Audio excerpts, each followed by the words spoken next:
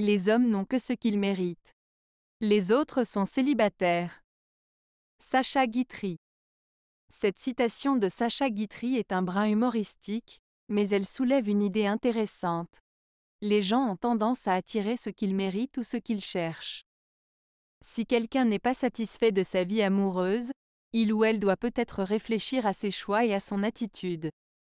Cela ne veut pas dire que les personnes célibataires ne méritent pas d'être avec quelqu'un, mais cela suggère qu'elles n'ont peut-être pas encore trouvé la bonne personne ou qu'elles cherchent quelque chose de différent.